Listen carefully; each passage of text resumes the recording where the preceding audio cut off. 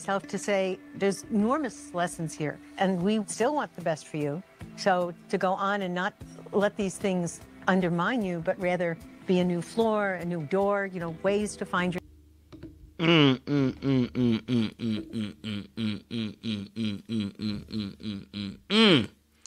The unaccountability stinks in this place. The unaccountability just be stinking in this place. After watching this episode, I gotta tell you, let me tell you this now. The reunion part two.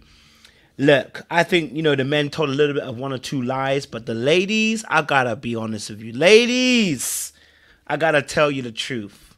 Okay, accountability. Okay, accountability is at zero. Is at zero is at zero. The accountability is at zero. Because what is going on here, right? What is really going on here? Can we, can we have an honest conversation about this episode? We're not going to be here for an hour, probably an hour. Sorry, I took about for an hour. Sean's going to join me in a few minutes. Can we be honest about the situation? Okay. Um, the the ladies honestly are are doing the very thing that the, they are accusing the men of doing. I'm not saying the men didn't create a coots. I'm not saying the men didn't go behind the scenes and talk to each other and tell each other, hey, look, these are not the women we're feeling. It's obvious they did. Because at the end of the day, we're human beings and we're social creatures. We're going to talk and we're going to strategize and plan. But for the ladies to pretend as if they don't know what's going on, first and foremost, let me just say this. Can I just say this about Brennan and Emily? Now, Emily was moving mad, but I have to be fair. Brennan, we knew you didn't fancy her, bro. Okay? We knew you weren't attracted to her. And this is a lesson to anybody else, right? It's a lesson to anybody else. This is a perfect example, okay, of what happens when men don't fancy women. See, when Brennan was acting the way he was acting, we all knew he didn't fancy her. We all knew he didn't find her attractive. Okay? Now, he can talk about how the first night they told him, oh, you know, um, that she's selfish and that she has one night stands. Negro, you didn't think she was attractive. Okay? All right? Because you didn't give it a chance. All right? You had one kiss and after that it didn't work. Now, why they're having different reasons for having one kiss versus many kisses, I don't know if somebody's drunk. I don't know if somebody is um, taking drugs. Why they have different recollect- recollections about how many times they kissed is a madness to me, personally. Um, but you know, I, I think with with that with, with them two, I, I we're gonna go deep into them. Um, obviously Cameron and Claire I mean, can I be honest with you? I mean, the waterworks by Claire. I need her to zip it up. Okay? Zip it up. Okay? Zip it up. Claire, I need you to zip it up. Okay? All right? The brother proved he was on EKG. The brother proved that he flatlined. The brother proved that he had to be almost resuscitated and brought back to life. He weren't lying about the situation, um, you know, and etc. etc. right? That's it. Okay? Yeah. So, um, you know, I, I need her to zip it. Okay. Um, and then, uh, you know, Lauren and Orion, we already know about them. Um, but, you know, I was wondering why Lauren was getting all percolated for Cameron. Why was she suddenly getting energy for Cameron? The brother's got a heart condition. People, I need you to chill. Why did Lauren have energy for Cameron? He wasn't being disrespectful. He wasn't being rude. He was just letting you know he don't agree with your point of view. And suddenly it turned around into a situation where Lauren wants to get in his face. And I need you to have that energy for Orion. Focus on your Orion. Okay? Focus on your Orion. I need you, you step you stepping over boundaries right now. Right? Focus on your man. Right? Instead of trying to get onto Cameron. Where if Cameron was really being bad, I would have been like, yeah, I get it. But there was nothing really that the men were actually doing. Um, someone said he had a fake fake heart condition. Well, he, he showed the, the slip that he his heart monitor was on the slip. So I don't know. Um, there's nothing there's nothing um nothing bad. It was actually really kind of saying. So I'm like, hold on a minute. Really and truly, why did you step over the bounds? Like, what, what was the point? You get what I'm saying to you? What was the point? And then we find out next week you out here talking to next man's next man's next man next man's next man uh, talking to next gal and man. Next week we find out you're talking you're talking to, to Michael a bit too comfortable. Yeah, I need I need to sit down. I need I need you to sit all the way down, focus yourself on Orion, okay, and beat that dead dog, that dead that dead horse. Okay? Yeah, yeah. Um, and then obviously uh um uh um Becca and uh Austin again, we knew Austin didn't fancy her. We knew Austin didn't find her attractive. Um, yeah, and his behavior was off. Can't lie to you. He didn't give her no nookie, no intimacy, no uh, sexual energy. Yeah, he. he I, I, can't lie to you. Yeah, yeah. Send him to the gulag. Yeah, he can shave that beard all he wants. Send him to the motherfucking gulag. Okay, so I'm not to be mad at that. But that's my quick summary. But we're gonna we're to break down a few of the couples, a couple of things that happened. I need to talk about as well. And uh, if you're new to the channel, make sure you like, share, subscribe, click on the bell button for notification uploads. We appreciate you guys. Still looks loaded. And uh, make sure you guys join into the conversation. We better get into this. I don't want to be here too long because I, I, need to go and pray and I'm tired. But let me just say this Father, we thank you in the name of Jesus, oh God. May you release the revelation of truth. May those who are liars be found out and revealed. Father, we pray that, Lord, that these people will leave each other alone. Father, we pray for Brennan and, and for Emily. May they come to a safe place. May Brennan enjoy his new relationship. And may Emily get over and feel better about herself in Jesus' name. Father, we pray for the rest of the castmates. No, Jake. But look, honestly, Rose Pit, like I, I honestly, I can't lie to you. I, I was I was tired of them. I was tired of them. I can't wait for the new season. I can't wait for the new energy. I can't wait for the new vibes. I can't wait for the new castmates from Chicago boop boop. Hopefully, the new cast will be better, and I will definitely do it from uh, the very beginning as well because I, I think there's a lot to discuss. You know what I'm saying to you. But let me get Sean on, and uh, we're gonna get the show under, underneath the way. So make sure you wrap up. Okay, all right. It's, uh, someone said I need a good therapist. I hear it. Sean, Sean. What's up, brother? What's Gucci, baby? And part two was was a mausoleum, bro. A mausoleum. A mausoleum. Skadachi all the way, brother. Um, it was all madness. It's Skadachi all over. Um, what, what was your thoughts, bro? Reunion. This was the just. This was just. I've never seen toxicity on levels like this before, mm-hmm. and uh, I think. Listen, there's some accountability on both sides, but the ladies the ladies just were were horrible in my opinion. Um, you know, they're calling them the witches of um of Eastwick. Because how they tried to collude, you know, it just and I think it backfired, and that's what we saw. Listen, I, I to me, this is female toxicity at its finest. You know, when you can't hold you, you know, they don't want to hold themselves accountable. You know, they busy talking about, you know, it's the men, it's the men, it's the men.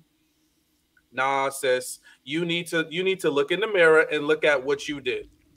And I think this is why they were crashing out because you know what happens? They had this whole plot going, how everything was gonna gonna look, how they were gonna skirt by on accountability, how they were gonna push it on all the guys. Meanwhile, they were all complicit in it everybody was in on some level of a scheme and a plot together but then you want to push it and make the guys look bad right they they led us into this and meanwhile emily i need emily to just go to karen class i need her to go to karen class and get re-educated because she is a freaking karen the way she was flipping out on rudy the way she was carrying on with kevin at the reunion not holding herself, not being accountable for anything. Every five seconds, Brennan, Brennan, Brennan, Brennan, Brennan. But meanwhile, she's out here hooking up with people at bars. Yeah. Chaos, bro. Pure chaos.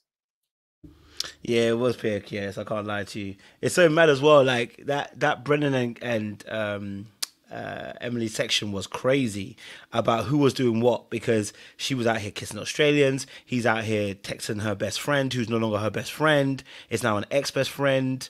Um, you know, and I don't wait. I don't get it. Why is she the ex best friend if she told you the truth and he didn't do anything, and you didn't bring it also to him? That part was just strange for me. It was a little bit complicated. I was like, so hold on a minute. He done something with your best friend, but your best friend obviously he's now an ex-best friend, as you said, uh, but you didn't bring it up to him, and he's also saying nothing actually happened. But what? So if he texts her, surely he's at fault, because you're. She didn't say that the friend texts him back. She, you know what I mean. So which one is it? Did he sleep with her? Did he not sleep with her? Which one is it? Because I was mad confused. I don't know if you did. You to understand that part? Oh yeah, I understood it completely. He, she's the one that was letting him know that um, Emily wasn't about nothing and she was for the streets. So it had nothing to do with he didn't mess with that woman. What happened is that she's the ex best friend because she she dry snitched on Emily.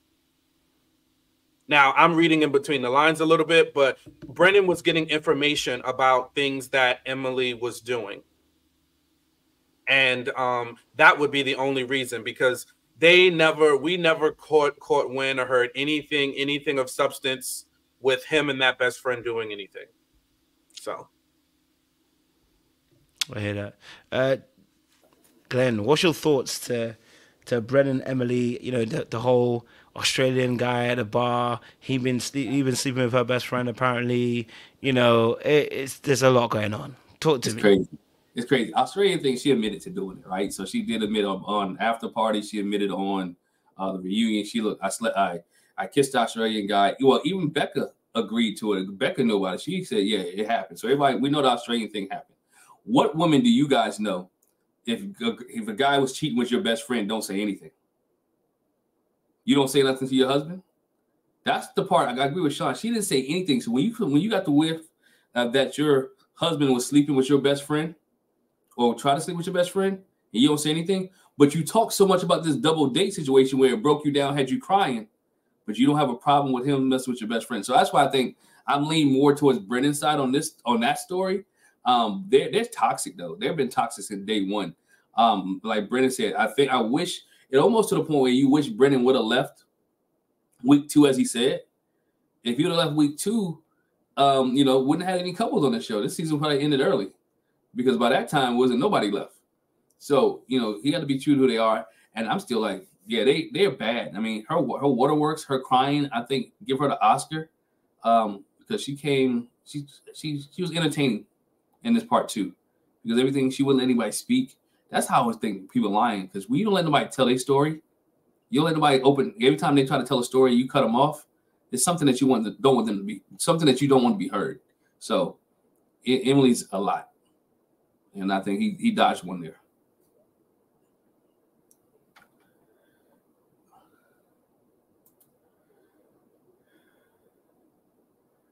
You're mute, coach. Sorry. Yeah, they, they, they, you know, obviously the conversation flowed on further. Um, she said obviously she was scared to tell him about like Australian guy that she kissed. Um, Lily told her some information, um, and then uh, he said that she threatened him to stay in, threatened uh, him to stay in a marriage. he said that she basically let it stay, let, threatened him to stay in a marriage. And then the part that really got me, this is the part that got me. Brother said I wasn't attracted. I wasn't attracted to her. She said, "I believe that's a lie." I said, "Baby, he didn't even sleep with you. Okay? He didn't sleep with you. Who are you saying? Why are you fighting on him, fighting him about you don't think he finds you attractive? He listen. He doesn't speak for every other man. If you believe you're a nine and you're he's a six, why are you begging for the six to find you attractive? He don't find you attractive. Get over it and move forward. But she was forcing it with the delusion, and it was a strong delusion. You know what I mean? You know when the Bible says they prophesied out of their own hearts. Ezekiel 13. That's exactly what happened here. Because sis, what are you hearing from heaven? Because it surely isn't the Lord's voice. Because the brother done told you, I didn't find you attractive. Did I? And he had to sit her down. She still didn't believe it and told us straight to our faces, I don't believe that. Baby, he didn't even want to kiss you after. No one want to have sex with you. Baby, he didn't find you attractive. And it's okay. We've all been there. We've all suffered when someone tells you they don't like us. But you ain't got to let you ain't got to sit there and fight him and tell him you don't think that he you think that he found you attractive. He told you out of his mouth he didn't. What's your thoughts on that, Sean? Yeah, listen, and this is why, and I'm not justifying what he did because he should have just been straight up out the gate and honest, like, hey, once I started to hear a little bit about your past, it, it was too much for me, you know. And and they're they're they're, they're guys like that that it don't matter how pretty you are because I he did say if you listen to him he said you know i did find you attractive but the more i got to know about you and hear things then it, I got turned off. And it happens. It's the it's the reality. Some people can look past certain things, some people can't. I know me, I'm I'm the same way. So that's why as soon as he he was you know, I saw his attitude, I could pin it because if I don't feel like we're on the same page or there's some things that you might have been into that's just not for me, uh, it just might hey some people can be like oh it don't matter to me i don't care your past is your past now for me i'm considerate of that I'm sorry. That's just my attitude about it. And that's exactly what happened. Now, he should have been honest with her and told her, but this is what's happened. After she's had all this time to see and sit with it, she still doesn't believe it. So that's why he's like, I don't want to get into this back and forth on TV with this woman who is unhinged. He could see she's unhinged. He's like, so I don't want to get into a back and forth with her because she's not gonna, she's not gonna listen. And then you know what's gonna happen with the experts. They're gonna gaslight him, stay, work it out. Let's see how it goes. Maybe try some intimacy exercises. Let's start playing with sex toys. So he was like, no, no, no, I don't want to do none of that. We just gonna milk this. And you know, listen, she's I can see her. I still want to work it out. I still want to try to make it work. The whole way. She's been saying that all the episodes, and this guy is giving her the cold shoulder. But she's looking at herself and thinking she's a pretty blonde, pretty blonde, you know. But hey, he, he wasn't for it. Fair enough. Go for it, Glenn. Yeah, she didn't read the room. Um, I think I think what it comes from is this: she has never been in a serious relationship and she used to giving up her cookies, right? She used to giving up the goodies. Everybody who's messed with her has always got the box, right? They always got to be with her. They always, you know, they was always intimate with her. Now she has a man who's not, he's not intimate with you. He's not into you like that. And you're like, oh, this must be something wrong with him. No, it's something wrong with you. As Sean said, he didn't like what he was seeing. He didn't like the attitude. He didn't like the fact that you was drinking too much. He didn't like the fact that you was a gossip. He didn't like he didn't like all this other stuff that he saw within a matter of a couple of days. And he was like, you know what? Don't want to be with you. Don't want to do it. So let me create this narrative, and we just play this game for the next nine weeks. I keep um, well these next uh, few weeks, and um, and I'll collect these paychecks. So again, she couldn't believe that someone didn't like her. You're not all that. You're not, and now maybe other people have told you all that. If you was like that, this wouldn't have been your first serious relationship. Your first serious relationship wouldn't have been married on first sight. It would have been other relationships that have been serious that lasted for a long period of time. But your low self-esteem and yourself where you're at, you have to give it up. Remember, this is the same girl who met a guy, Australian guy, and kissed him in a bar. So again, why would this dude want to be attracted to you if he sees the qualities and the characteristics already? And what he said was, your friends told me that you have a multiple one night stands. That your friends said that this is what you do on a consistent basis. This is what you like to do. And he said that's when he like, you know, who am I married to? Like, I really don't want to be with this person. So her friends according to Brennan, gave her up. And she just couldn't understand it.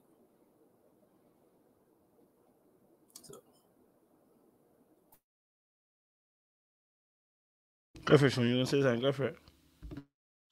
Yeah, I think you know the, the the problem that he had too was he was so overly concerned with your image, and I think this is what this season taught a good example of you know what you do in the dark will come out in the light and you spend so much time trying to not be something you become it and brennan was definitely overly concerned with his image and trying to control the narrative and we got to really see his personality unfortunately but you know when it comes to to you know to emily I don't I think she she just thought eh, you know that she was going to look a particular way. I guess she thought like, "Hey, it's going to look he's going to look bad because I can see his flaws," but she forgot to look in the mirror and see her flaws. And we got to see her fully exposed, especially more towards the end when her plan didn't didn't didn't uh, come out the way she thought it was. And when you literally, you know, I think what Brennan did wasn't good, but he was just more so trying to not look bad. Emily was trying to make him look bad. And when you spend your energy trying to make somebody else look bad, you really expose yourself. And I think that's exactly what happened. And, and she was, that's why she kept folding, you know? And, and that whole point when she was talking to Kevin and she was like, listen to the women. You need to listen to the women. I don't understand why we're questioning this. What do you mean? Like, what are you talking about, lady? we we shouldn't question when there's a sea of lies. We should just believe what you say. Why? Because you're you're a woman? No, no, it doesn't work that way, lady. You, you know, like I think she was like playing on like narratives and stereotypes, trying to trump up sympathy, and she just got exposed. Yeah, I, am gonna call it, and I'll be in trouble. Y'all get mad at me. She she pulled that white privilege. oh, she she tried to pull a white privilege on, on Kevin. He's like, you supposed to believe us. We're white women. We're telling you. I'm telling you what happened. You know, I'm telling you this story. You supposed to believe us. Nah, I mean, I mean, you can't believe everything because there's two sides to every story, right? And like I think Brendan said it on, we all everything we say can't be a lie. And again, you went along with it at the beginning. Let's be honest. Everybody went along with the story. Everybody went along and said, "Let's let's do producers. Let's do the the the uh, um, viewing audience." And then somewhere down the line, they say, "You know what? It is not working." But I really want a husband. Well, he already by that point he already told you he's not attracted to you. He doesn't want you. There's no intimacy. There's nothing that's going on. So let it ride. Let it play.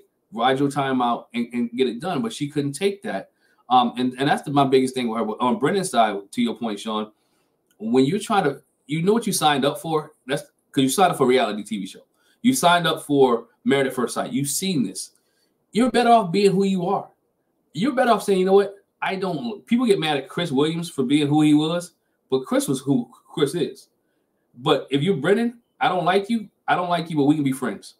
I don't like you, and we can be friends throughout the show. And that's where he that's why he should have kept it at from day one. You know what? I'm not attracted to you, but you know what? You're not. Gina and Clint from uh, Tennessee. They told everybody, and we don't like each other, but we're gonna be friends throughout this rest of these weeks. We're gonna hang out, we can chill, we can do bull rodeos together, whatnot. But at the end of the day, we're gonna say no. Everybody knew they were gonna say no, but we're gonna be that. That's how you carry it. And he should have been himself and carried it that way. So, yeah, delusional city. Yeah, it's delusion. It's it's the, the strong delusion for me. Um, but you know, I think, um, you know, I think uh, the the craziest thing is, like I said, it's it's um, you know, Emily just seemed to have this chip on her shoulder, and I get that Brendan wasn't all the way honest. He wasn't. We, we we'll be honest about that. But Emily just seemed to have this chip on her shoulder, um, and I think that the the rejection that she suffered from Brennan was very very painful, right?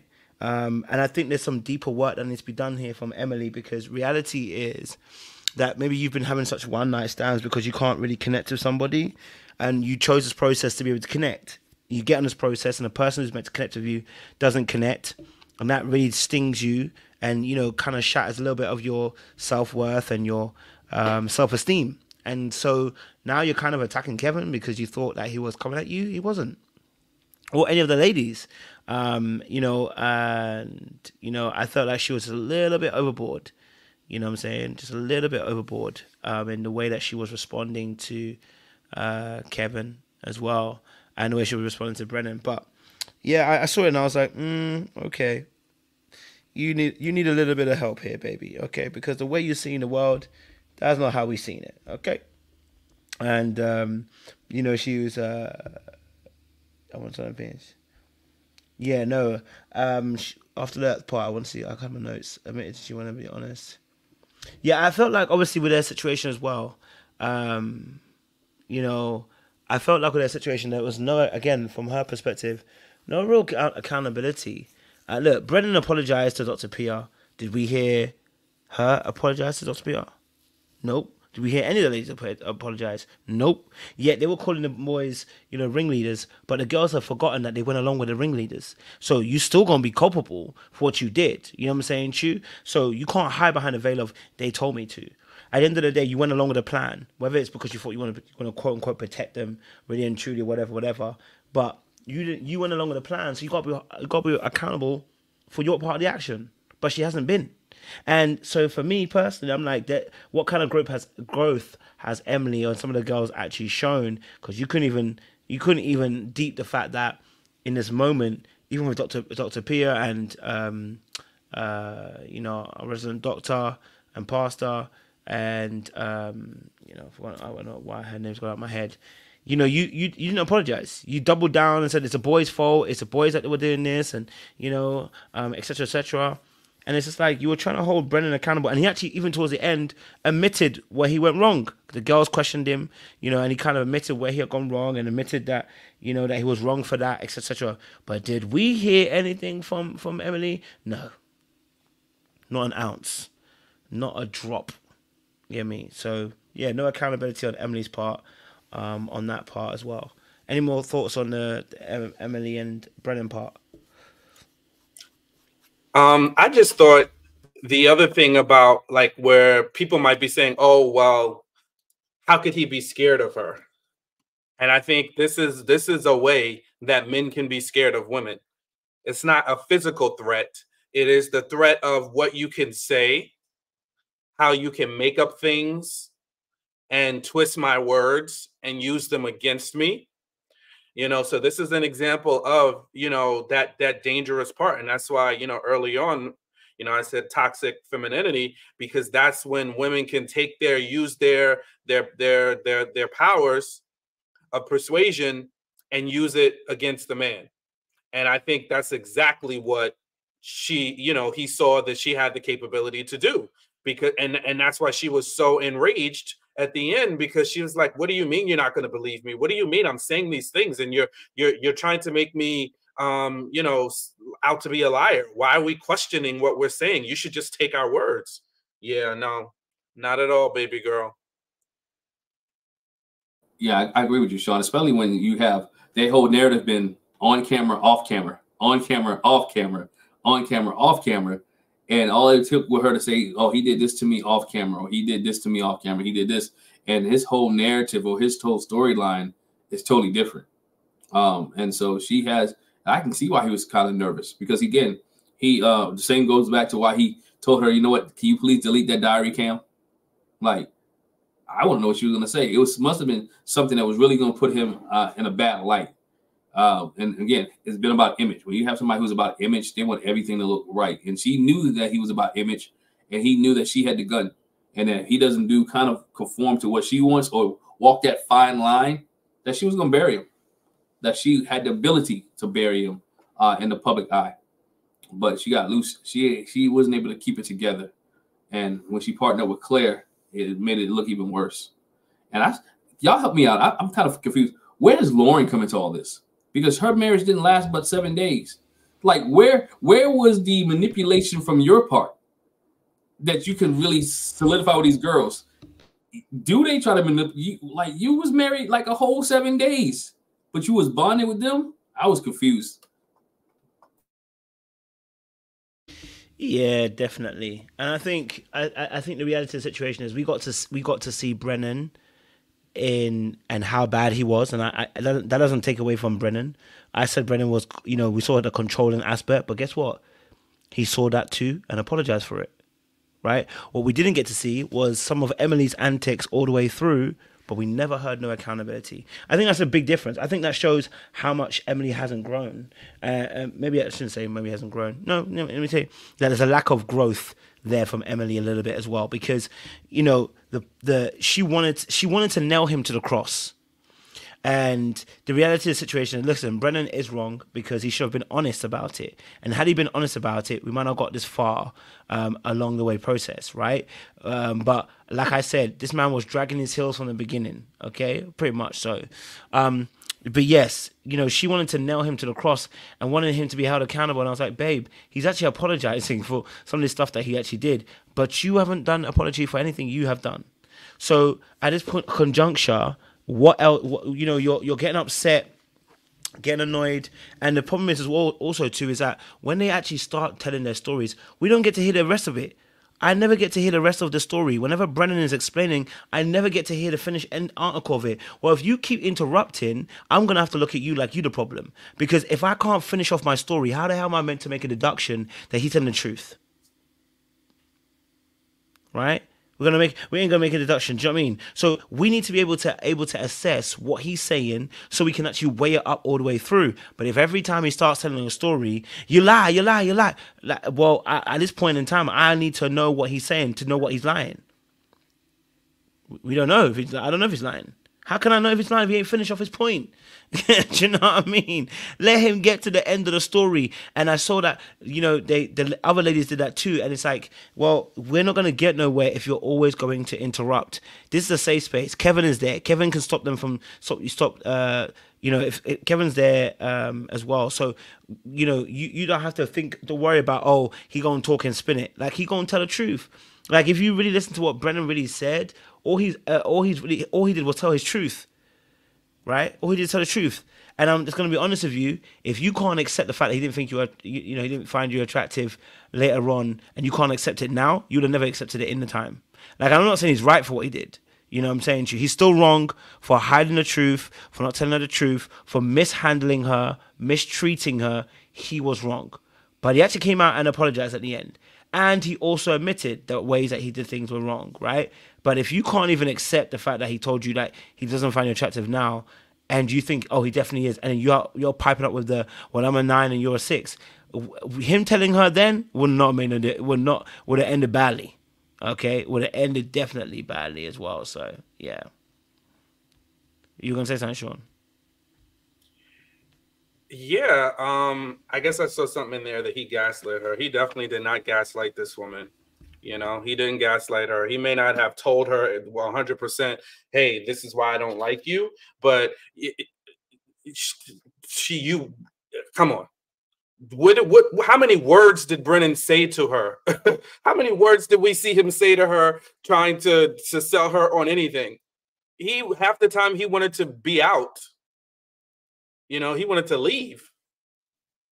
You know, where I did see him be a little manipulative is in the end, after she had that accident, and you might have been checked out by this time, coach, but after she had her big accident, I saw it.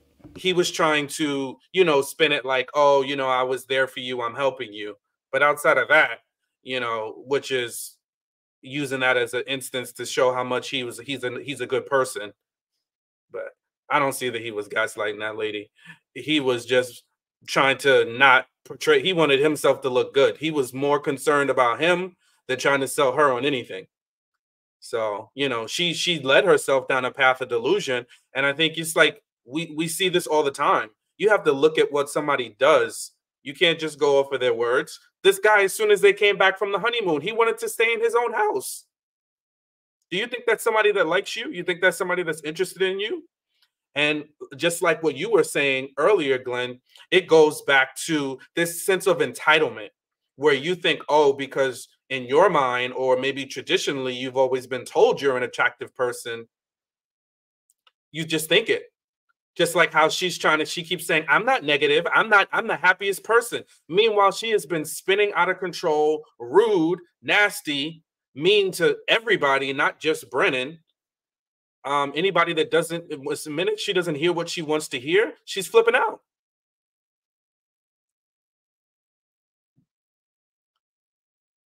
Oh, Lin Lin, Lord have mercy. Not that you believe all the women. Oh my goodness. No, no, no. No, we can't do that. we can't we can't do that. Like I said, there are two sides of every story, all the women. But again, back to your point, you know, Emily was um, a train wreck, and I think Claire was there to support her in being the train wreck that she was in, and, and, and steering that that ship. You know, what was happening to the time when you said you was divorced or married at first sight? They didn't show you anymore. They sent you home. You moved out the apartment. You got away from everybody. I guess they couldn't do this season, or this season would ended early. But if you take Lauren and Claire, I mean, yeah, Lauren and Claire out of the situation and leave the other couples be, they might have had something salvaged. But back to Emily and Brennan real quick. Anytime the guy keeps telling you we're resetting to be friends, not resetting to be husband and wife, but we're gonna reset so we can be friends, it should tell you enough already. It should tell you enough.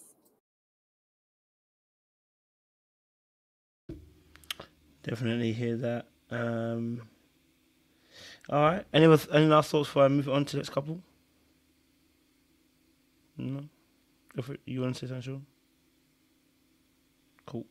Uh, let's move obviously the next big couple, Cameron and Claire. Uh, I want to get your thoughts on this. Cameron and Claire. Was Cameron uh, ring leading and causing all the men to come together uh, around the night's table and make a decision about how they're going to move their wives from here on out? I mean, bear in mind, none of the wives got any sex. I mean, these men were really dedicated to celibacy on this uh, show. Probably one of the best bunch of group of men who are not going to lead these women with, uh, you know, uh, problematic D. You know what I mean? Like they made sure, listen, we ain't gonna have that on our namesake. Okay, all right. Uh, what's your thoughts to to the um, to the man them in terms of uh, Cam- Cameron and uh, Claire and Ledette? Well, listen, Cameron was trying to give up the D. to Claire very early on, but Claire didn't want it. So she wants to sit up here and spin her lies and tell her that tell us that she was attracted to him. We could visibly see that she wasn't attracted to this guy with his spiders and his antics.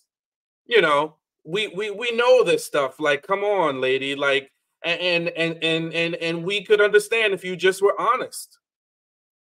But she she tried to play the game and then tried to pin it all on him. It's like, nah, ma'am, you didn't want to look bad either because you didn't want to be the one rejecting him and make it look like you know you were checking out. So you like the plan. You like the fact that they were able to, you know, he was able to use um, you know, his illness as a way to get out. And then you sat up here with all these phone calls pretending, oh, how are you? He doesn't want me to come see him. You you're speaking on his behalf. It was all very performative. You know, he's eh, and, and he's definitely not an innocent. I don't think Cameron is innocent, but I do think Cameron liked her. You know, he kept trying to get closer and closer to her. She she rebuffed him and he was like all right i'm not gonna i'm not gonna keep getting played on this camera like this because i see where it's going let's come up with a plan so we all come out ahead so i think the two of them are definitely the ringmasters of let's come let's come together and figure out a plan i definitely believe that and if claire wants to make me think like oh she's just a wounded damsel that Cameron took advantage of her. She's too smart for that. And I don't buy it. I don't buy not one lick of it. Her with the tears, her sitting with her legs crisscrossed in the chair like that shows me that she was crashing out too.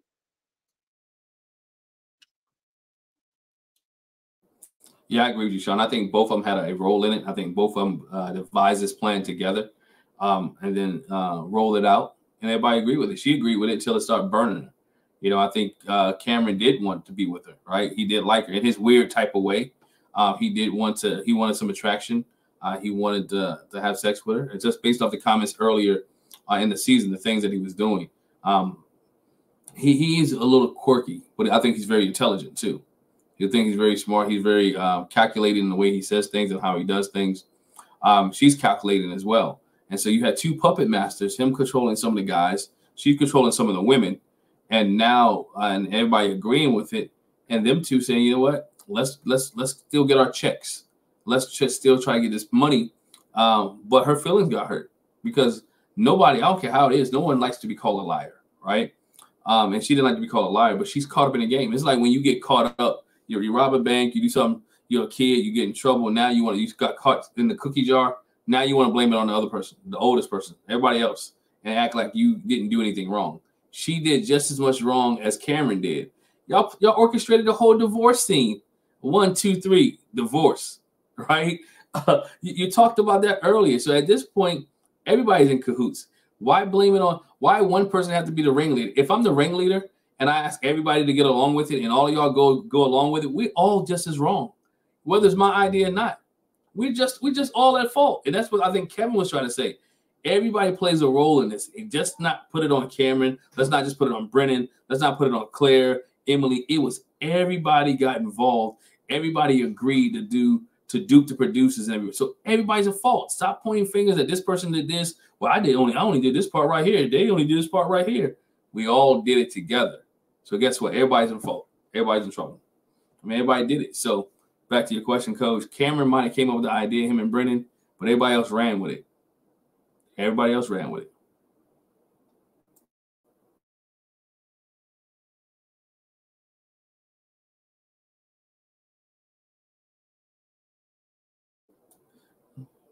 Might have been the mob boss. You know, I think about the mob, everybody sitting at the table. Don Corleone, you know, and uh he, he got the plan. I need you to do this, need you do that. You know, go from there. Absolutely. You know, there's the captains, right? So there's all the people that are, you know, following the orders, but they're all complicit. And when the when that when when the federal case comes, everybody gets it. You know what I mean? Yep. Yeah, everybody gets it. Yep. So and Tyra's World had a good a good comment. is that um you know listen when when kids get just another thing you know they start snitching like oh you did it and you did it and this is you and this is you but I think they miscalculated with Cameron because he's holding so many cards and he's the collector of so much information and what we saw mm-hmm. all along throughout the season is Claire and him were definitely in cahoots because he's getting all this different information from Claire too. And yeah. he's just spitting it back out, spitting it back out. And the ladies are like, oh, oh, oh, oh, he knew that, he knew that. And he ain't, he ain't giving up none. He ain't give, he's getting all the information, but he's not giving up yeah. none. Anything he knows, he's not giving up none. He's just collecting everything that they give up and he's just using it back on them. And like, yeah, you said this, you said that. He even covered for his board. Now we wouldn't try to do a double date. That was my idea. I that was my idea. I take the fault. I take the bullet for this one. Right? That was on me. You know, and then he said, you know what? Even with his heart thing, his heart flutter. And I, I gotta I got a way to bow out for a minute. I got a way to take a rest. Uh, you know, I got a way to, you know, to to move off camera and they can't follow me.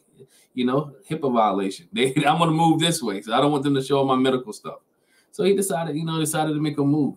But yeah, everybody's everybody's guilty here. Um, if they would have played this, if if they would have not talked off camera and talked all this stuff on camera, this season might have been interesting we saw how this would play out on camera, and they was having these discussions, you know, which I kind of blame at First Sight a little bit because you got these cameras inside these apartments. Where were these conversations being had?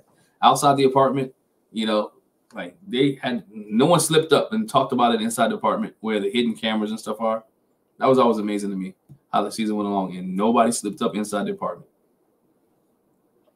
Hey, they knew when when to say what, and some of it was via text message.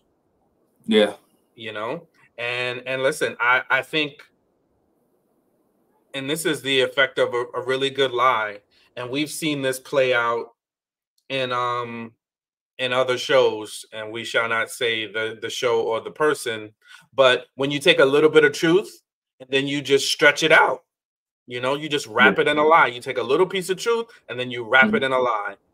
So yeah, was he ill? I believe so, but did he did he have to leave the process? Was that the contributing factor? Those are all the things that are shrouded in something else right?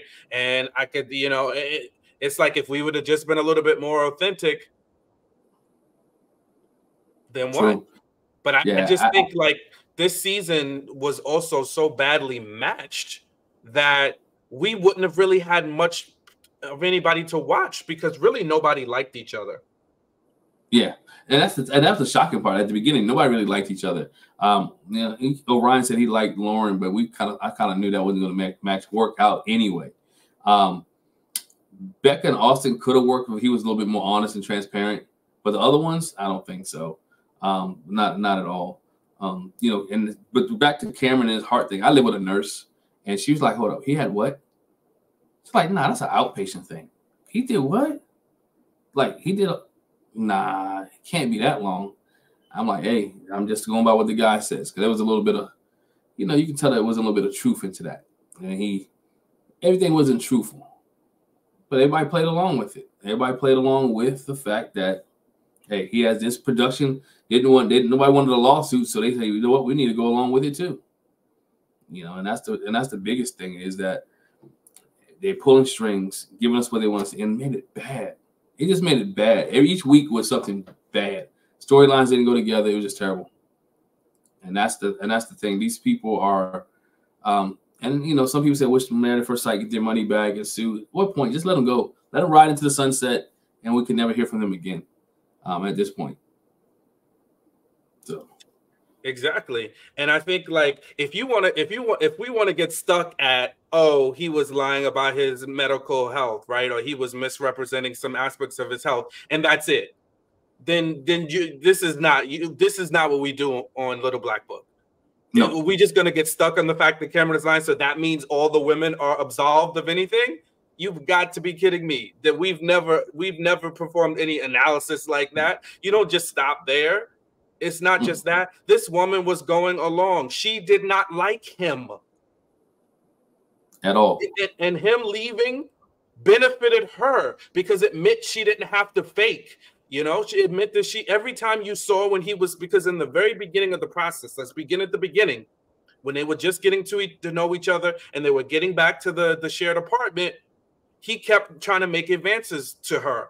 As awkward as it was, he was trying to make advances to her. And not to say she should, she's obliged to be receiving of them, but she was not interested. She was not. You can see how awkward it was. She kept dodging him, you know, making up excuses, creating distance. Those are all the signs that she was not attracted to him. That's and not how somebody behaves. And she didn't even know he put her on his arm around her. The girl, other females had to tell her, you know, he did put his arm around you. He did have his arm around you. He was showing some intimacy. He was showing some uh some care and kindness. You didn't. She didn't even recognize it, which lets you know she wasn't really into him at whatsoever. And she tried to play it off and saying, "Well, I, I stopped being into him when he woke up the first morning and says, um, I forgot that you were there." Now that might have been a backhanded comment, you know, but at the same time, you're trying to work on this thing. I think it's my that's my biggest issue. You're married, you signed up for the show, and five days in, two days in, you already quit. Like you're not even going to work on this. At least work the process, right? Go through the motions, go through the process, go through what the experts say, trust the process. And if it doesn't work out after the eight weeks, so be it. At least you can say, I gave it 100%. At least you can say, I didn't try to dupe anybody. At least you can say, uh, you know what? It got, we tried, it just didn't work. And it's okay. Like I think Pastor Cal said it. It's okay if it doesn't work. At least go through the process and don't fool anybody. Just go, hey, you know what? We didn't kiss. It didn't work out. Uh, you didn't hold my hand. Let's talk about why why aren't we holding hands on camera? Why aren't we doing th- this on camera? Why are we not kissing? Why are we not snuggling? Why are we not cuddling? Why are you sleeping in the other bedroom? Have those type of discussions on there, so at least we know what it is. And I think that's where everything messed up at was they try to hide all that stuff when it was dysfunction. It was dysfunction in your relationship, and it's okay that they matched dysfunctional couples because Denver had a small pool of people. Denver had a very small pool of people. Now, I think sometime only that reason Orion and Lauren was matched because they had to meet a quota. They had to have African American on the show. And I, who do we match her with? Let's find a guy. You know, that's one of the things that you know was tough. Where the heck did Kojo go? I don't know, man. he dipped. He didn't even say that. Kojo. you leaving us here twisting in the wind, brother. Where we where we supposed to go next here? man, look, hey, my channel, Orion and Lauren, you want to take talks? this is like the reunion. We, we just you know left to, to left to run amok. Yeah, yep. no. So I, I mean, look, and and and again, I'm gonna say Cameron. You know, he he was an odd character, so I don't know why Claire couldn't just be honest and just verbally say it. She kept trying to put it on him, and whenever people do stuff like that, it just reads. Everybody has been saying all along she looks manipulative. If you look all across social media, everywhere, they're like, no, no, no, we're not buying anything she's saying because every time we see her you know, after he left the the process, she's like, Cameron, I'm I'm so I really want to be there for him. I really want to be there, but he doesn't want me to come. You cared about him that much. If if if you're in the hospital, I'm gonna come see you. I'm gonna come see you. Probably because it was an outpatient procedure and there was no hospital to go to, and she knew it, but she's mm-hmm. trying to play. You know, she just trying to play. It was an outpatient procedure, and and and but if, how many sick people do you know don't want somebody to come visit them, more or less their spouse? Bring me some soup. Bring me some something. When the dude who's sick, and I'm gonna use him on his deathbed, had to be brought back three times. Don't want you to see him. There's a problem. There, there's a big. I don't know Denver laws, but you know y'all married, so technically, if he had passed away a lot of that stuff probably would have been yours anyway, based just based off the law. You know, so I need to talk to you. We need to have a conversation at least just on that point. You know, if, he, if he's about to die. Um, but it's um she needed to she wanted to validate who she was and not validate him at all and chalk his weirdness up as being I don't instead of telling him I don't like him, I don't like you, let's be messy and mess with everybody else. Because I still think she ended Becca and Austin's relationship towards the end of the show with some of her comments and some of the things that she was involved in. Even on the uh, the retreat, she was involved in Lauren and Orion situation. Like she knew everything about everybody. She knew everybody talked to the therapist, right? Everybody talked to Claire, and everybody gave Claire uh, the, the, the juice or gave Claire the tea, and Claire was willing to spill the tea. Claire was willing to give the tea to everybody else. Um, and that's the I think that's the thing that messed up Cameron, and that's why Cameron knew everybody business because Claire was getting it, and that's that's the only thing they could bond over was everybody else's gossip. They couldn't bond over anything else, but they could bond over everybody else's gossip and how do we fool everybody else. There was no romantic love there, no cuddling there, no holding hands. You went eight weeks with somebody and y'all didn't hold hands, didn't kiss, didn't have any type of intimate moment whatsoever. That's weird. I mean, it's just weird to me, and, and can't can't see why. And isn't Claire the one who like brother passed away? And so you're supposed to be the one who's empathetic, you know? Yeah, because she's from the family. So empathetic, show some empathy for the guy, have some love and compassion, find out what's going on. You're a therapist. Find out what's going on with him mentally, you know, but each his own. Everybody yeah. thinks Cameron was lying. He's not lying about everything. He's not, he can't be lying about everything. Everything's not a lie. I think that's what Kevin was at. We don't know what's I think Dr. P, uh, Dr. Pepper or Pastor Cal said it. You can't figure out what the truth is because no one ever told their story, the full stories. So, don't know. Yeah, thank you, Deborah. Because this is yeah, she just kept getting tripped up. She kept getting tripped up, and what she was doing, she wasn't consistent. And again, I'm not saying, I'm not saying Cameron was uh you know was an innocent in all of this right? Because we saw this moment too you know miss ward. Um he was you know he said all this negative stuff about her and then he was playing this game in the last episode talking about um oh maybe you know maybe something could work. That was completely I don't I don't know why he was even playing games with that whether he was just trying to trip her up whether he was trying to call her out and see what she would say since she was over here saying she was attracted to him. I don't know what type of manipulation tactic that was when he was like, "Yeah, I could see giving another chance." I don't know what lie he was spinning or where he was going with that. Yeah, that one that had my had me scratching my head too. Like, dog, you done said all this about her that she was sleeping with her best friend uh, two days afterwards, and then you gonna say, "Hey, by the way, but can we get another shot?" For what? Why? She what do you want another shot for? Are you that pressed? Like you can't find anybody else. And I, I don't know how much, how long the reunion has been since there was it six months after the you know last tape or whatever case may be. Let it die.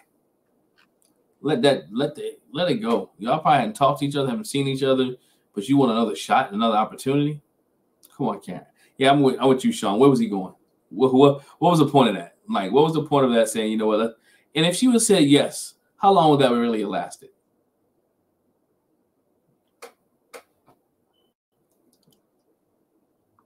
Yeah. I, uh, and and and I think a couple of people said it. Yeah, she's she. He was just calling her bluff and trying to call her out because we, we could see he's manipulative, and I think they they they got together, and that's why they got into solidarity in this pink color, and they said we know who to pin it on. We're gonna put it all on Cameron, and we're just gonna hang it hang it hang the hat on him because he he has come up with a lot of ideas and given us you know and, and been the way that we could kind of easily back out of this process but still stay on camera. Because that's what it seems like they wanted uh, and especially claire she just wanted to be on camera wanted to be in the mix wanted to have this little friendship but did you hear the part when um i think i don't know if it was brennan or or cameron that said it I think it was Brennan that said it. He was like, but Emily did. Yeah, he, it was Brennan. He said Emily didn't even like Claire anyway. yeah, I did like hear that. it like going to a break. It's like one of those moments. Like it's like he didn't like her anyway. Like I was the one who, who made them be friends or facilitated that relationship. like I wish I hadn't done it. Yeah, they didn't, and now everybody they're all in cahoots together. And yeah, it should have been. I, I agree with some of the uh, people in the chat when you're divorced and you say I'm done, You need to be done. Production, stop following you around, send you back to your house. We see you at the reunion because you're done. Move. They, they still let her stay in an apartment. That's the thing. So back to you. She wanted to be on TV. She wanted to.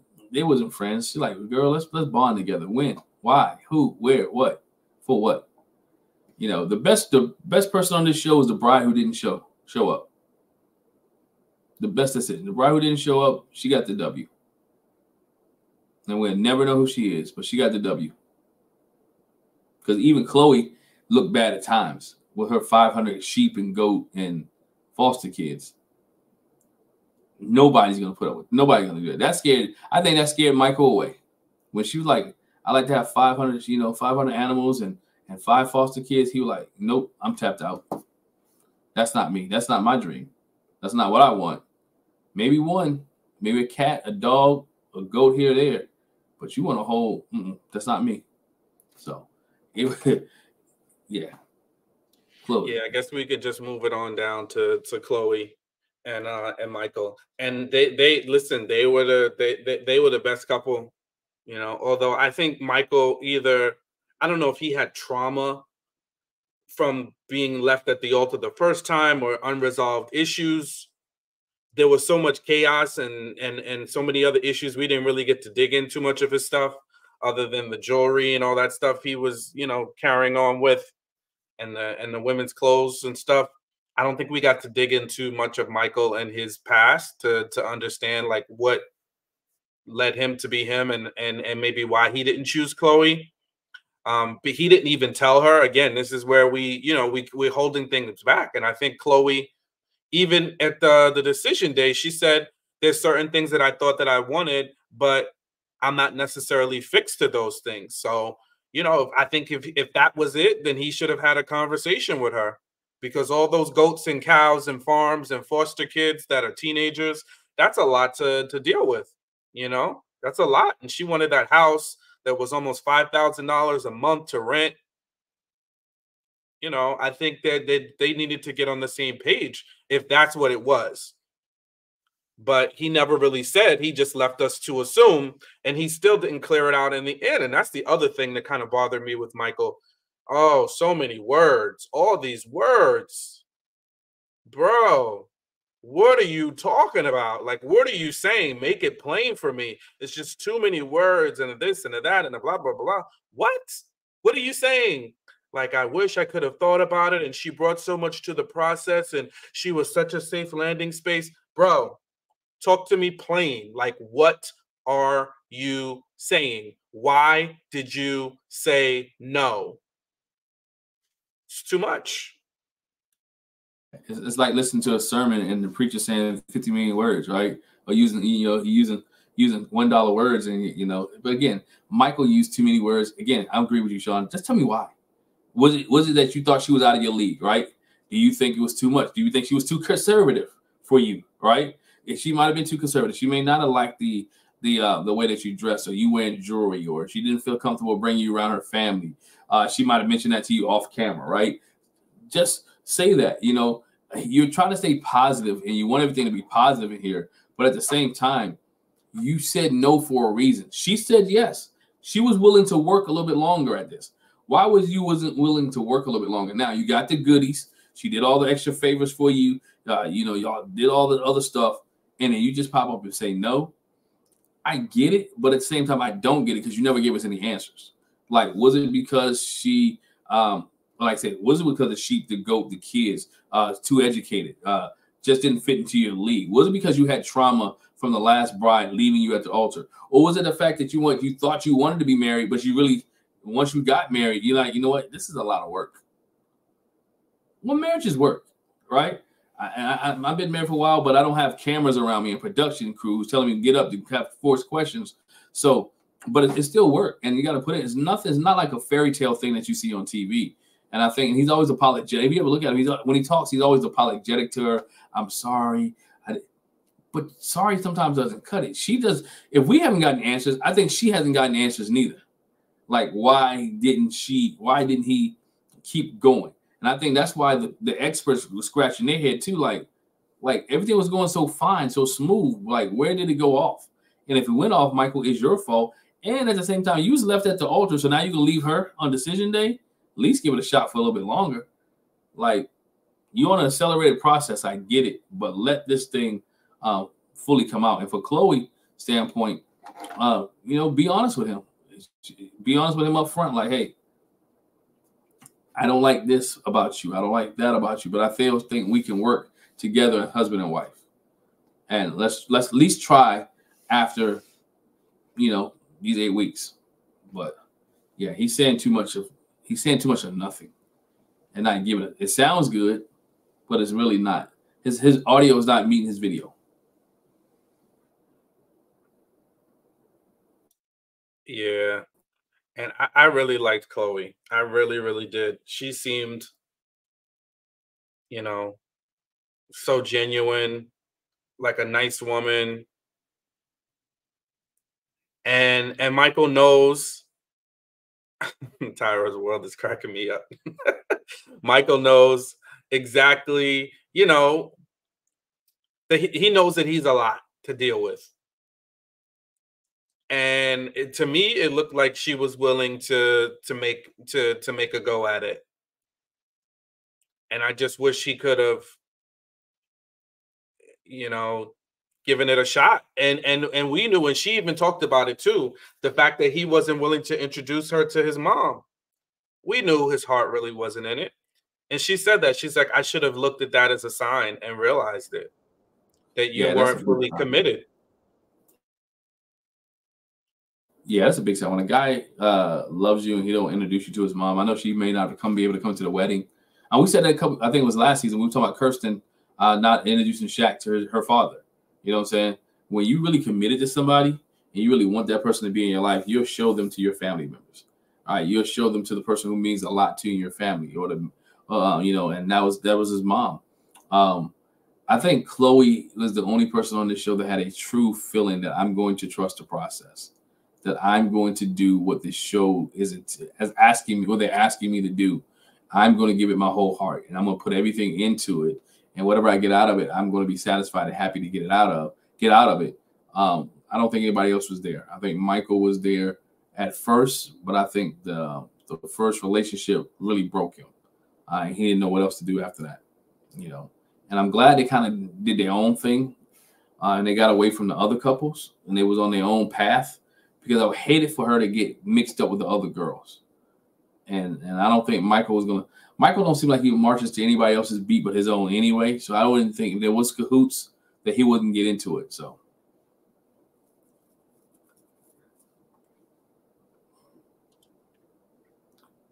Yeah, Jennifer, we have we don't know where Kojo is.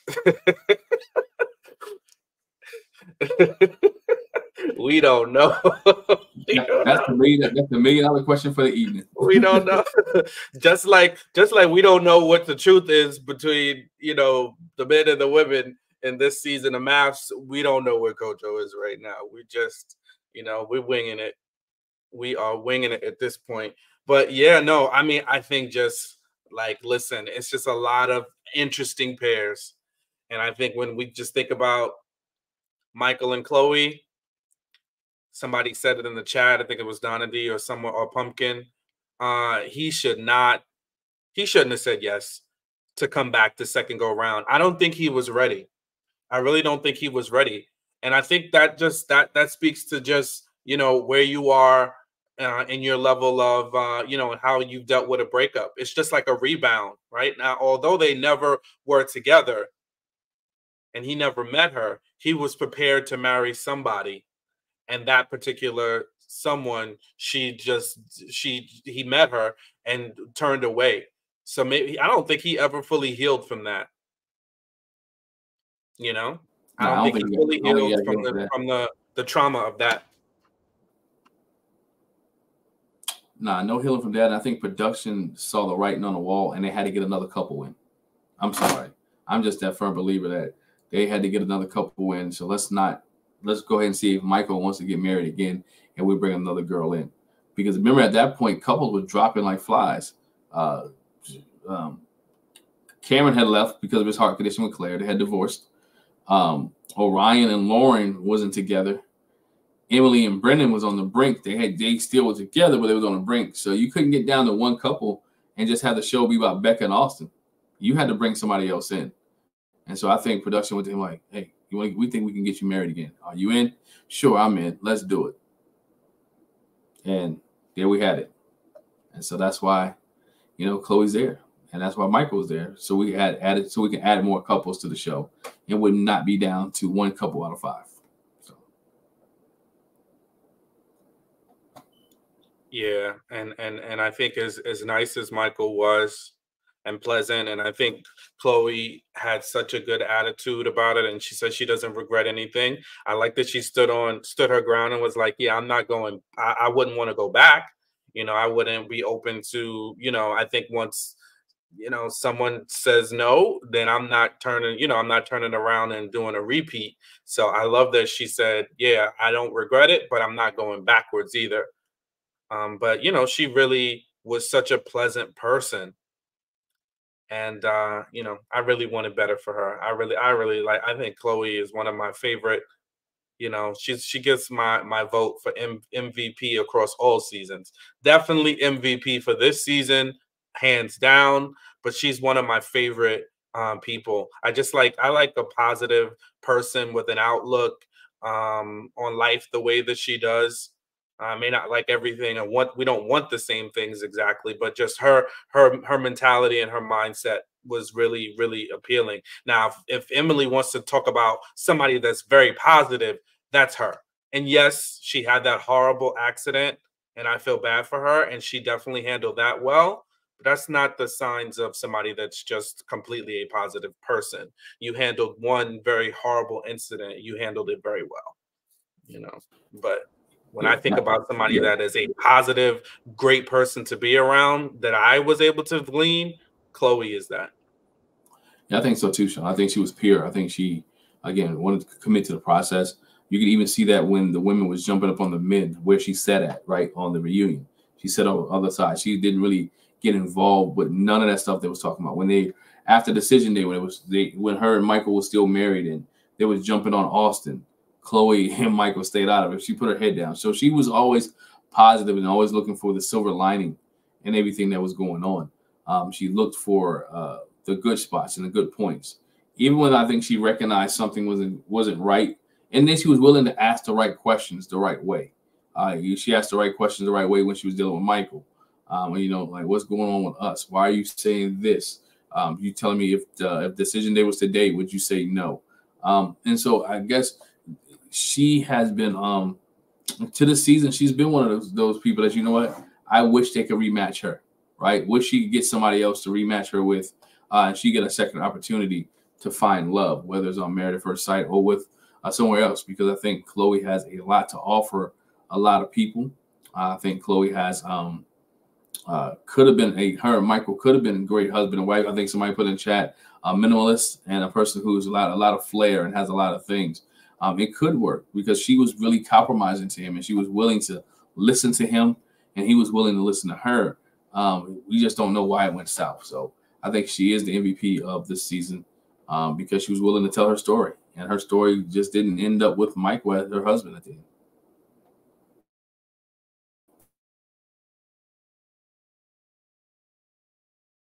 Yeah. I think, you know, shout out to her. She really she really did did her did her big one. So I hope she finds somebody. You know, she was just talking at the reunion that you know she's out there and she knows her person is out there. So I really I really hope that she finds somebody that that aligns with her. I think um who's next? We could talk about Austin and Becca. Yeah. Where do you want to go with them? Uh, you mean Austin with the beard or Austin with no beard? I guess both. yeah, like like he was sick, man. I don't know if he had bubble guts or they had like a rough night or whatever case may be. He just wasn't feeling good, and you know he goes and lay down, and they're like, well, at least be up for when they um when the experts come in. By that time, he got up and shaved and, and wanted to be, um, you know, wanted to be taken care of. So, you know, there. I'm glad they was able to come to some type of um resolve and she's kind of comfortable with, okay, I wasn't true to myself. And this one thing I like about Becca. She like, look what I agree. I wasn't true to myself and wasn't true to who I was.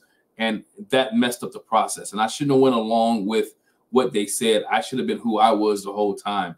And if I would have been who I was the whole time, it would have been better off. And I would have been better off uh, for being um, the right person or being um, uh, finding the right soulmate. And I think Austin got caught up in the TVs and caught up in the camera and and being paranoid and and and, and caught up in what Brennan was talking about. So you know what? I don't want to look like this, that, and other. If he had just been himself, like everybody says, his family says he's, he's a nice, sweet, caring, loving person. If he'd have been that been that on camera, even if he vaped or even if he drank or anything, if he had any vices, just been who you were, and everything would have been okay. And I think they would have made it if both of them would have made up in their mind, you know what, we're not going with everybody else's plan.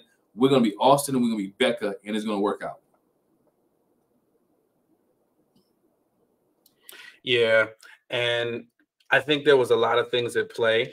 And if anybody was the most deceptive amongst the men, and I don't think necessarily Becca was in collusion to be, dece- you know, to be deceptive. I think it was you know i think it was her if anybody that's the the least um guilty of the women i think it's becca you know i think she's delusional i do think she's completely delusional because we could see that he was not into her and i think perhaps she and I, I and i said it early on when we started doing the review and i'm going to say it now but just a little nicer because i think she's a sweet woman I think she has a kind heart.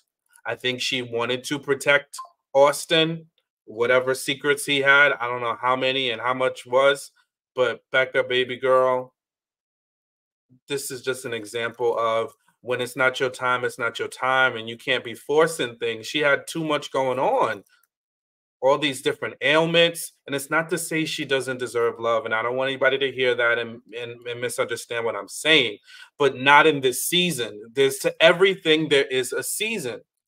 And she just wasn't physically, I don't think she was physically ready or mentally ready because I think had she been at her best, she wouldn't have been able to see, oh, this guy's not really about me. But she kept begging and begging and pleading for somebody that clearly wasn't interested in her. And he's, I don't understand what is going on with Austin. I mean, the stomach problems and all of this, that's signs of you got something so deep that you get physically sick. That's how stressed you are at the thought of being confronted. So Austin needs to get some help with whatever he got going on.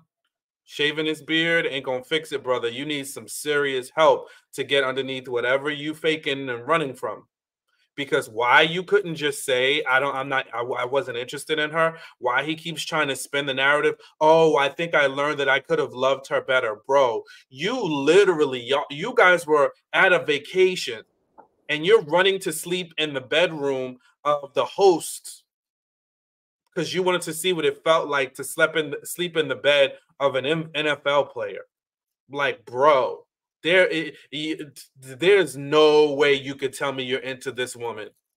Like all of this foolishness that he's trying to to say, it, to me, it just makes no sense. He just needs to yeah. cut the crap. And she was holding up lingerie, like, "Look, I'm about to put this on. I'm about to wear this, and you're still running down the hallway to go hop in th- this player's bed." Like I, he wasn't, he wasn't into her. Um, he said he said three to six months. I think I said on our channel, um, you know, you're willing to do everything else, but you just wasn't willing to penetrate. Everything else was fair game. You didn't really want to wait three to six months. You just didn't want to. You didn't want to sleep with her because you didn't want her to get really truly attached, or you didn't want decision day to be like, you know what, we did X, Y, Z for her to say you slept with me, now you can treat me like this. You wanted to he wanted to control the narrative in some aspect, and if I don't sleep with her, then I can control the narrative. Um, and so that's what he was trying to do. Um, Nah, I don't, he's not. He just wanted to. He wanted to control the narrative on how he played with Becca, even with the sickness. And that's the thing I, I talked about too. Um, he was able to hold the narrative about her sickness. We never heard about her sickness that much at all, but she wasn't willing to hold any of his stuff and was willing to spill it out and not accept him for who he was. And I think that was the biggest issue. They couldn't accept each other for who they are and who they were, and they needed to get it done. And it's really something about her that she really wanted this guy to have sex with her. And that's because he was doing everything else except for having sex. And she was confused.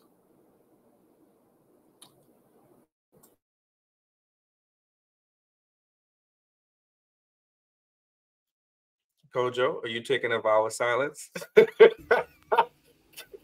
Listen, you, I, I, I ain't got nothing to say. My tiredness is killing me. Okay, all right.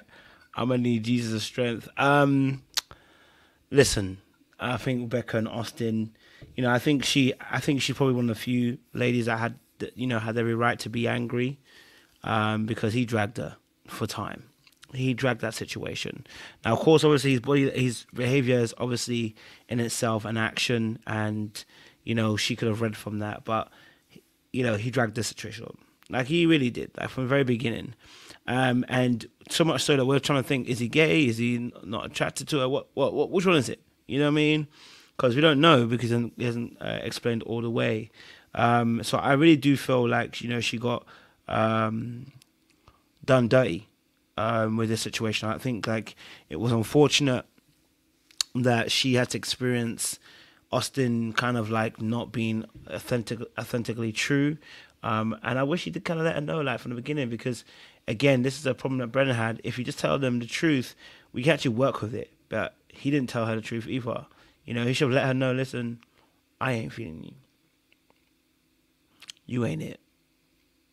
Okay? Like, I'm just not attracted to you.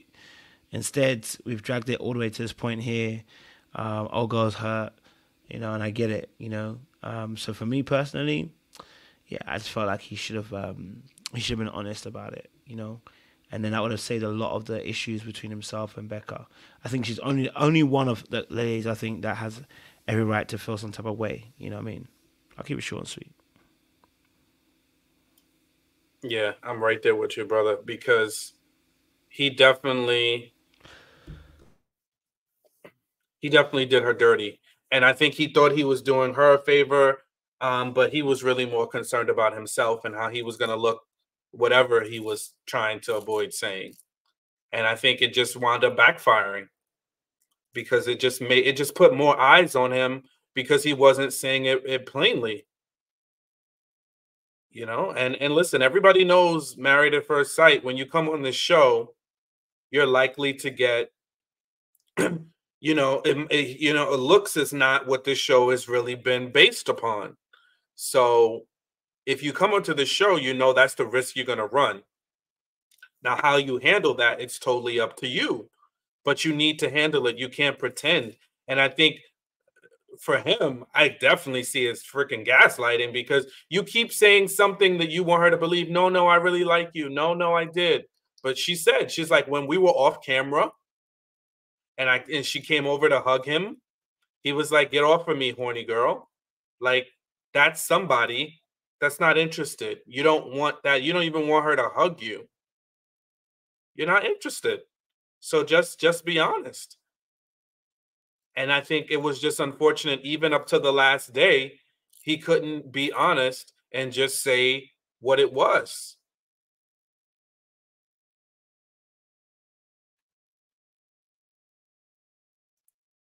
So I don't get him. I really he disappointed me, and I definitely think Becca was done wrong. She she deserved better, but I think you know again she probably should have sat this one out. I think she should have sat this one out because she just really wasn't ready. So. Yeah, I, I totally agree. She wasn't ready. I mean, she had just came off her surgery. She just came off other things. Mentally, I think she was checked out. She wasn't ready at the beginning, and he got checked out. Um, and that's just one of those things. And he, he, he played her. He played her on camera, uh, and we saw that. And just made her look bad. Made him look bad too. So. Yeah, and I mean, I hope you know she's able to build herself back up and it seems like the maybe the girl squad i think that's what they're good for like they shouldn't be you know doing all this amping each other up and and lying to each other and trying to you know say we were all victims, but I like their little you know, I, they didn't need to really televise it, but I like the fact that they did that little photo shoot where they were in there. They, they did the boudoir photo shoot, and they were all complimenting each other and making each other feel good. I think that's where you guys should, you know, make each other amp each other up, and you know, just rebuild your self confidence after being through this process. I think that's where the ladies can get together and be encouragement. But like Dr. P told them, Dr. Pia was like, yeah, no, what I'm what I what I don't think you should do is to do this group therapy thing where you all are just playing off of this narrative and you know just triggering each other.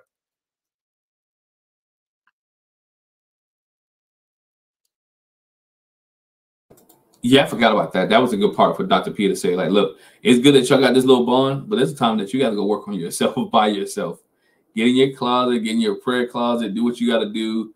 And look, let's work on you. Go see your pastor, go see your therapist, go two or three times a week, go see a therapist who is not clear, whatever the case may be, go see and get your mind, your heart, and your soul right. And, and the biggest thing is for them get some forgiveness in your heart. I think that's the biggest thing. Get some forgiveness uh, in your heart because, yeah, they done you wrong, uh, you hurt, but at a certain point, you got to forgive. You know, we're never gonna forget but forgive them because if you don't ever forgive, you're gonna carry that same baggage into your next relationship. And then the next relationship is not gonna work because you're carrying baggage from stuff uh, that you haven't moved on from. And that you're in the relationship that you your past relationship, and you're gonna be hurt by that even more so because you you got baggage and you can't embrace the person who's trying to embrace you because you're dealing with all this baggage. So that's the healing needs to take place and not with each other. And everybody don't heal at the same rate. So.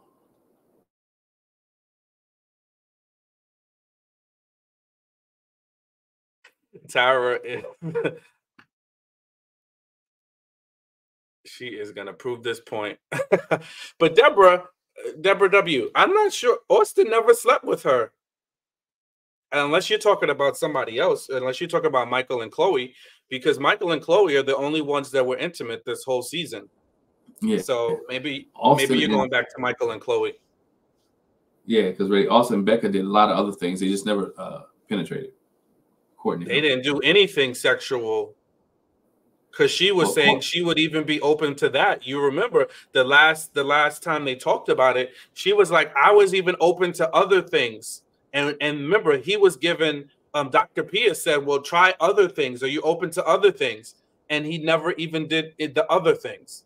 I see. Yeah, because on the reunion, he said, "Well, we did other stuff." Yeah, so that like, means hugging and and kissing. Kissing. Okay, got you. Yeah, they never did anything sexual. Mm. He's a strong man. Don't you? Somebody brought up the pegging. Listen, we're not gonna even. I'm not going. I'm not touching that.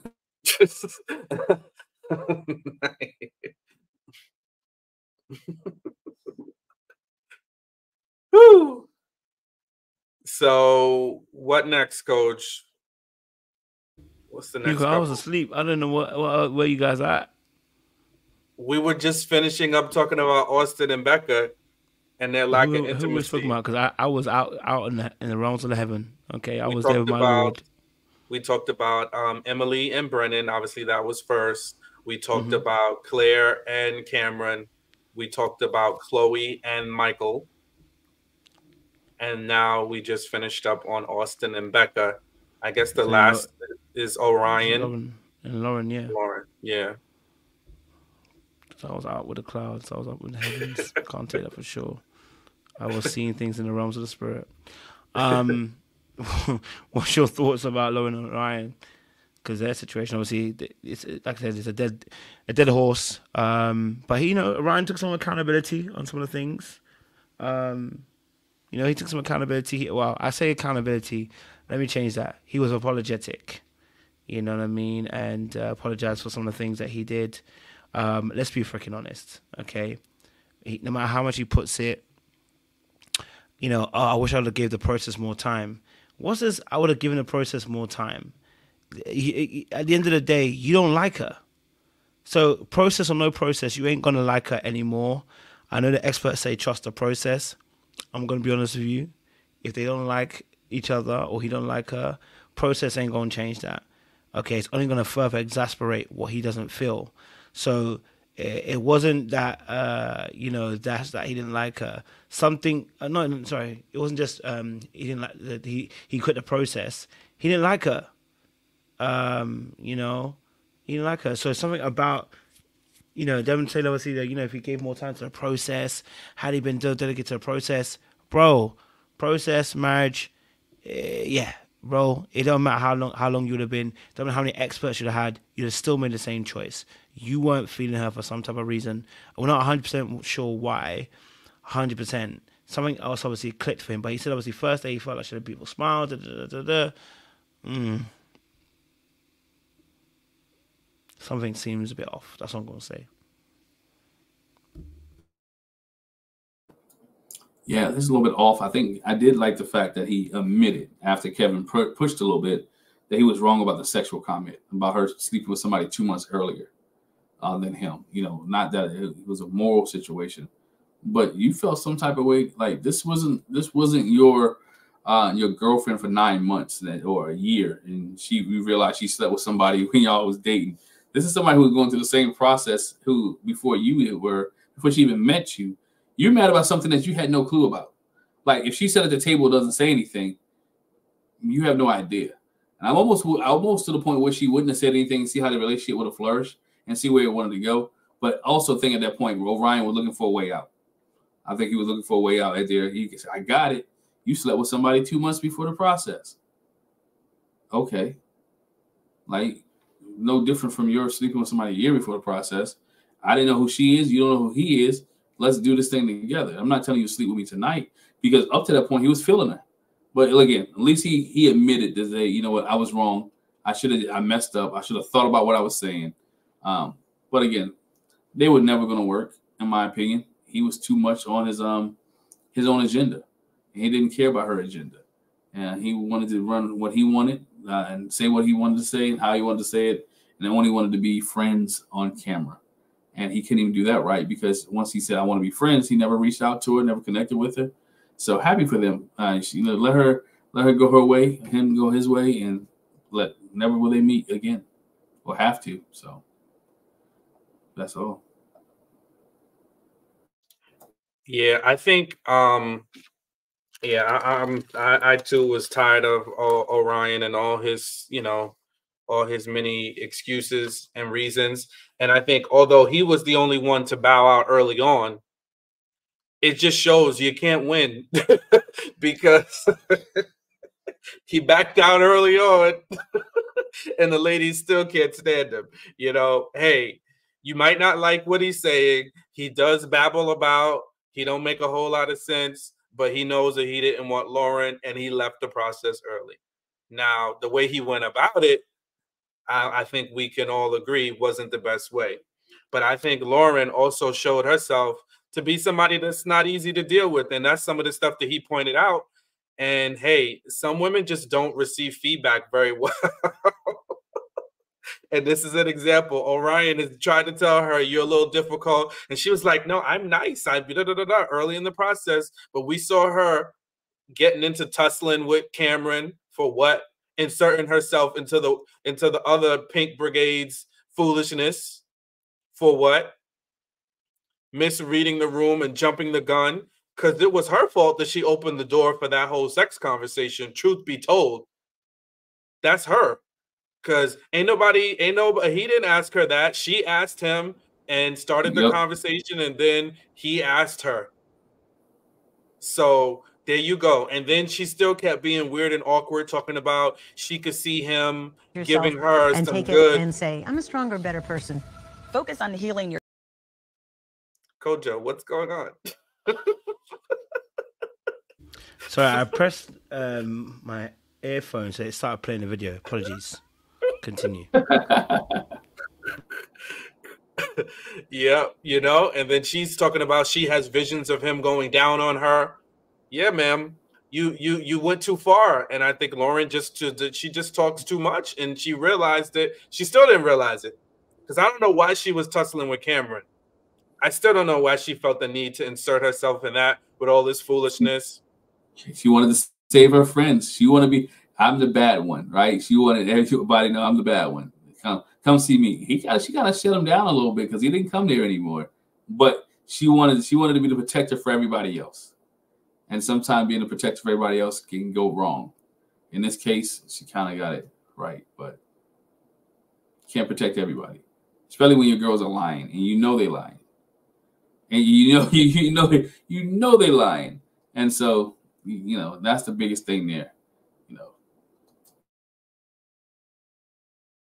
Yeah, I know some people like that she did that, but to me it was like it was pointless.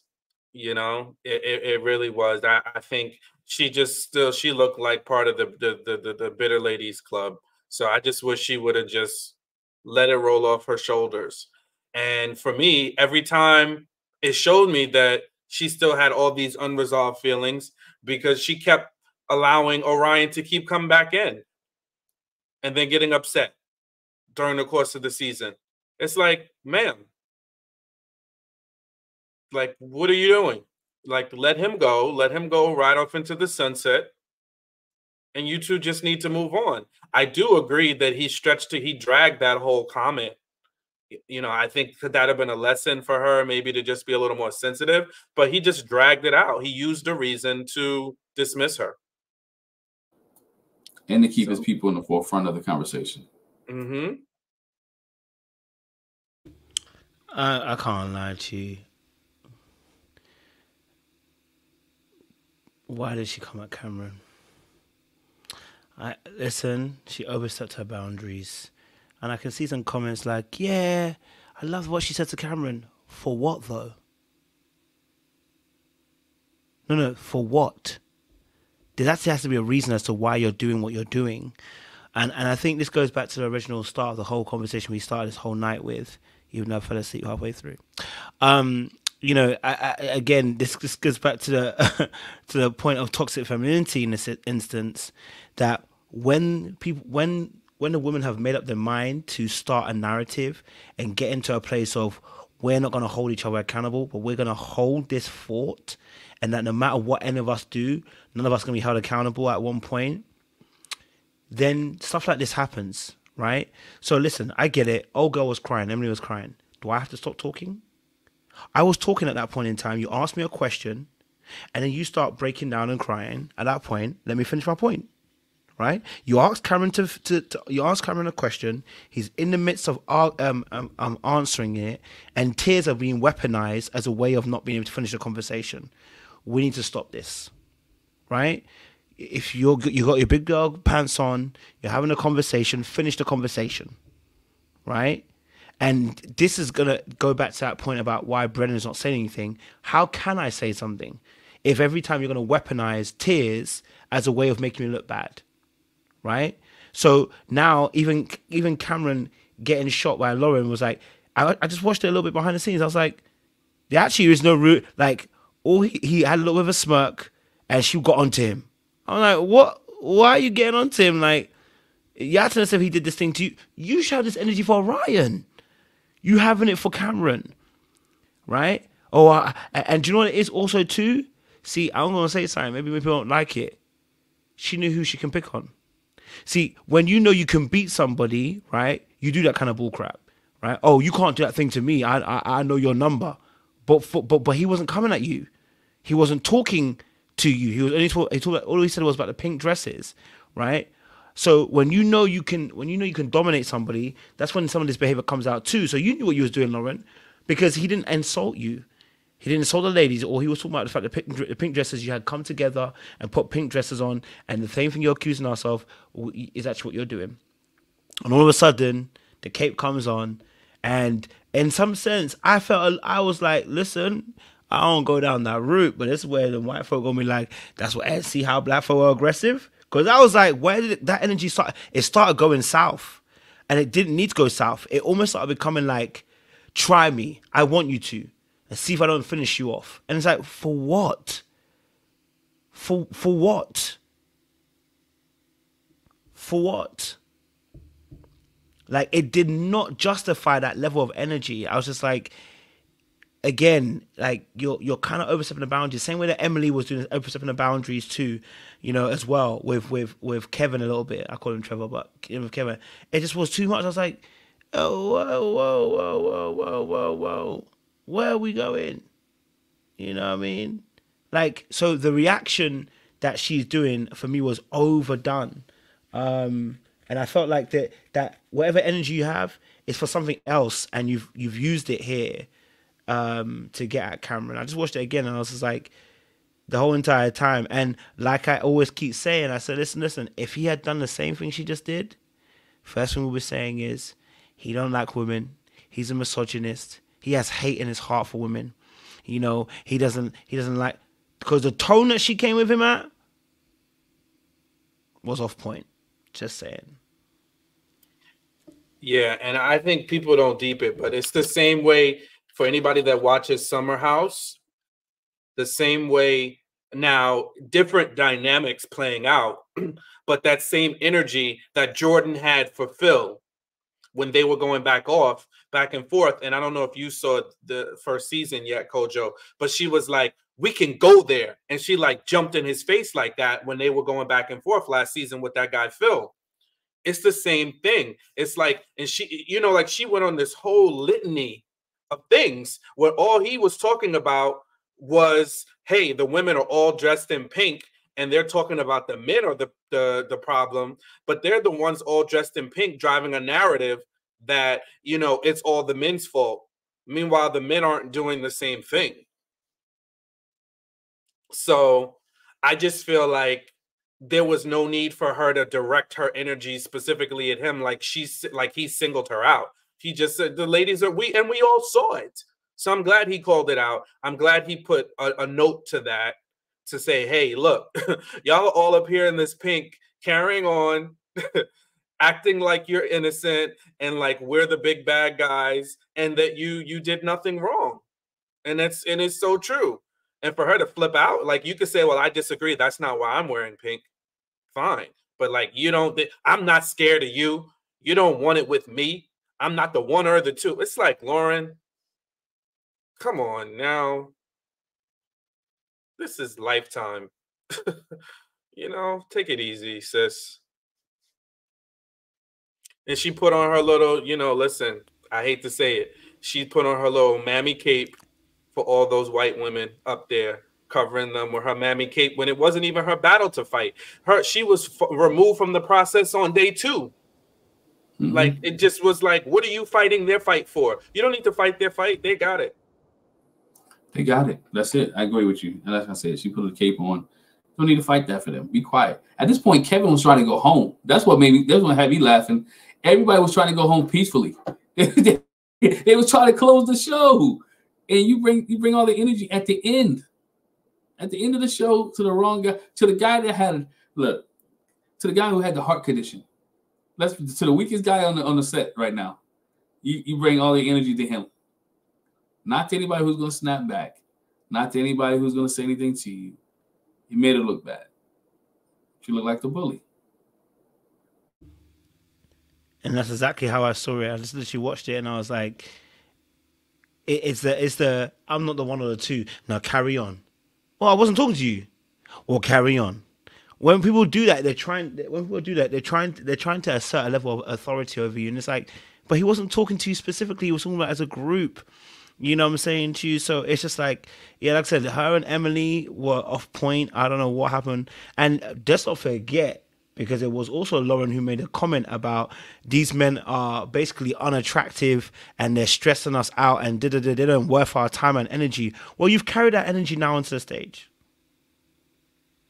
right? You that energy onto the stage, right? They are unattractive. Did it well? Uh, well, if they were unattractive and they weren't on it, why were you so pressed about Orion? it's, it's like I'm talking about. Like, why were you so pressed about Orion? He was unattractive and not your level. These men are not our level. This is what happens, right? And this is what we talk about. I always say. I always say it, ladies. Please don't choose me if you think I'm ugly to you. Please, I beg, because this frustration that you're feeling right now is extra. Uh, it's extra because you feel that you better than me, and now you're looking back and going, "How did this ugly ninja play me?" Like it's like, please, okay, all right. I need you to stay away from me. If you know you don't fancy me like a way I fancy you, just leave me alone. Don't grow in it. Don't try to don't try to mature in it. Don't try to uh, uh, stretch in it. I need you to leave it alone. Okay, all right. And you know, just a quick note. Obviously, I, am giving Laura smoke, but Emily got to join her too in that space too. Okay, weaponizing these tears all of a sudden. Suddenly you, suddenly you want to cry and break down like you wasn't trying to call out Kevin, call out Kevin during the show, like you weren't being uh, uh, aggressive too with with Brennan, the way you were responding.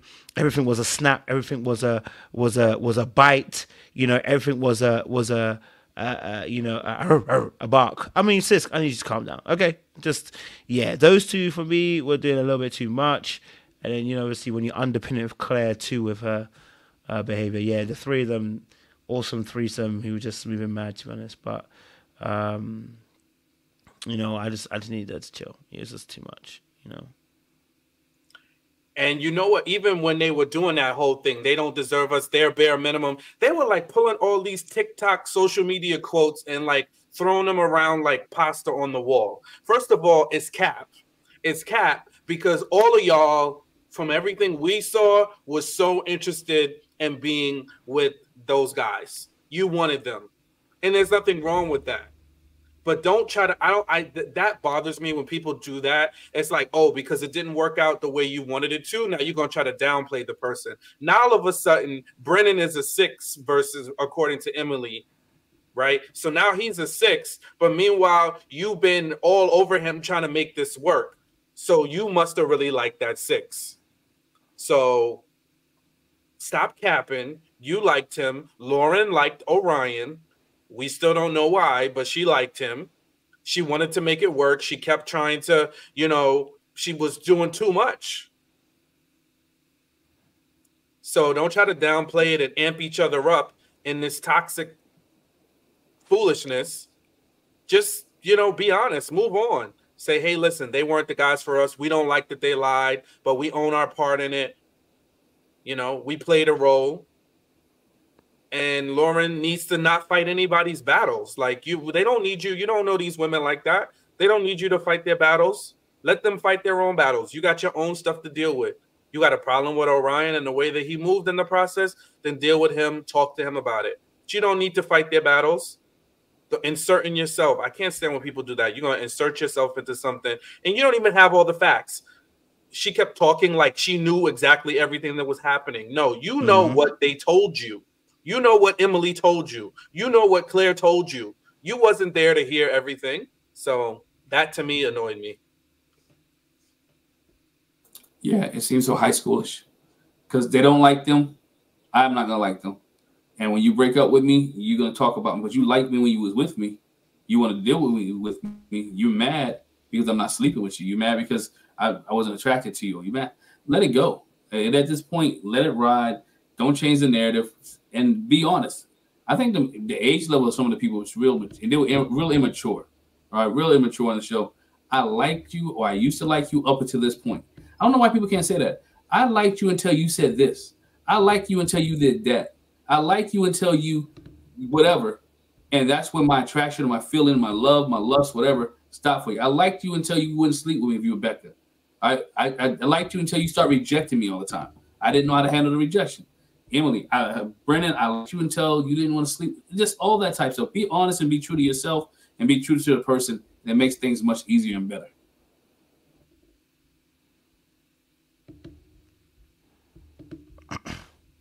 And just, just to, you know, maybe lastly add as well as, you know, just probably a quick skip back, you know, watching obviously the ladies how they handle the experts. The experts were actually looking confused when they were talking to ladies because they were like, wait, hold a minute. Well, who silenced you? Who?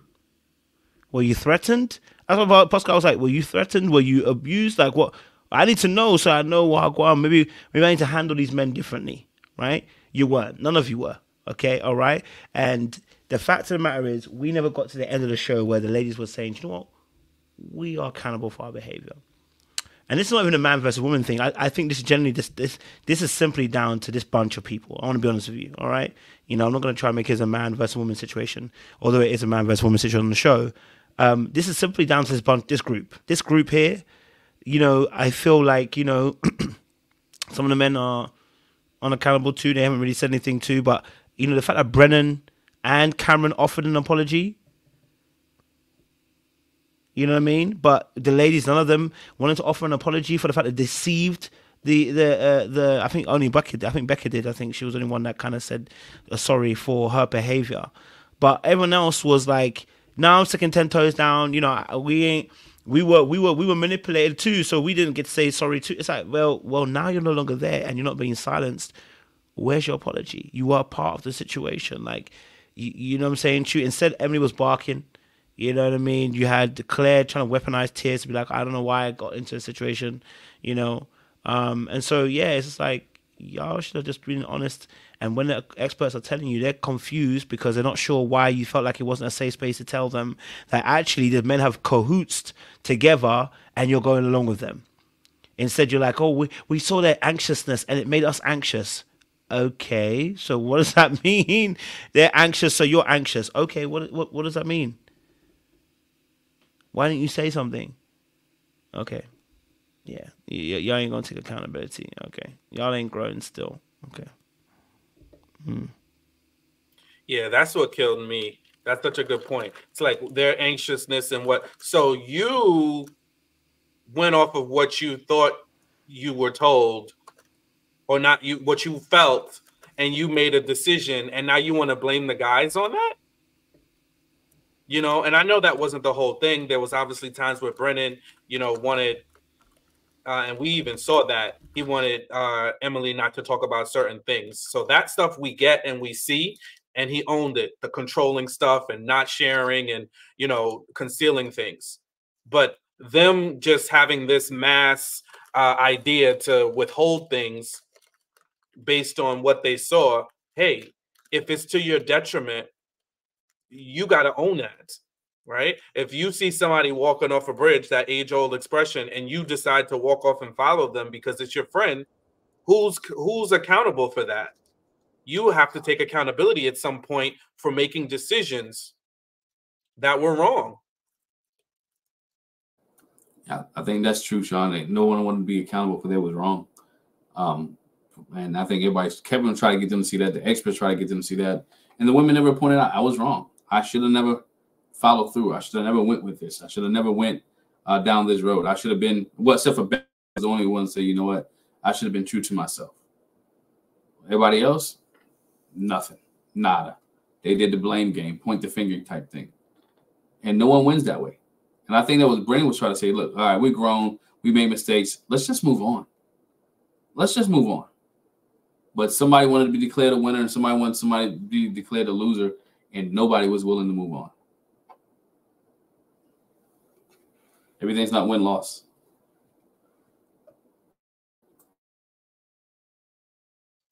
Yep, I agree 100%.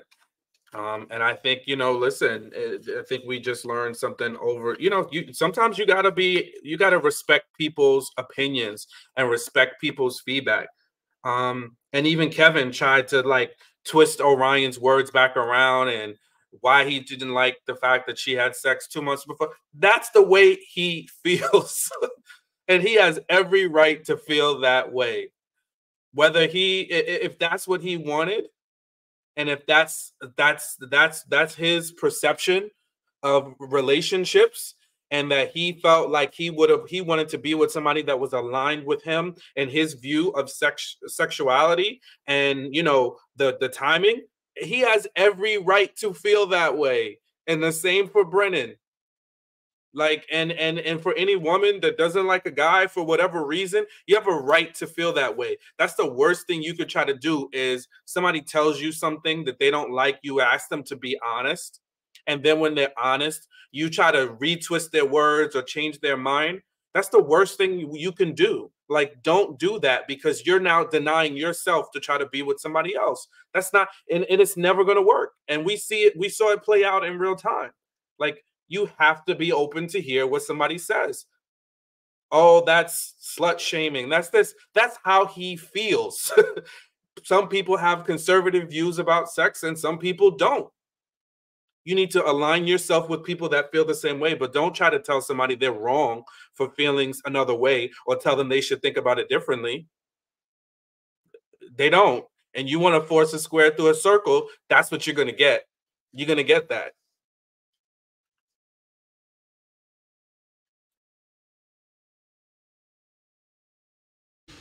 Yep. Any last thoughts, guys? Any other thoughts? No. Just hope Chicago's better. Let's hope so. I'm gonna be invested in that one. Pew pew. Um, Sean, uh, you must give us a, a benediction then, because I think we've we've done all the couples. and you are you are ready to retire.